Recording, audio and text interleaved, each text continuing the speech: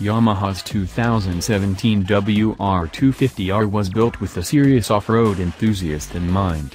250cc of power, a 37-inch seat height, and a sticker price of $6,699 differentiate this Yamaha in what has become a highly competitive segment of the motorcycle market.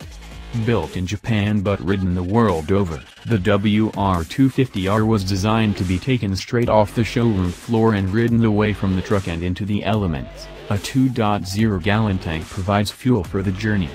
Of course, a wide variety of mods for the WR250R are available through a number of aftermarket companies in order to help you fine-tune this Yamaha to your exact liking, although some of these changes may render it a competition-only machine.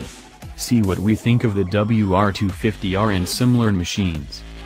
Yamaha has stoked out the off-road world recently with several all-new model releases, proving that the Japanese manufacturer is serious about competing with the Europeans in what has become a difficult segment of the market to master.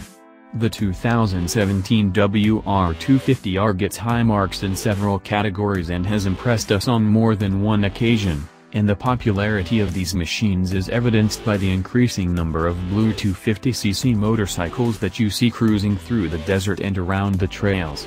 More specs are available below.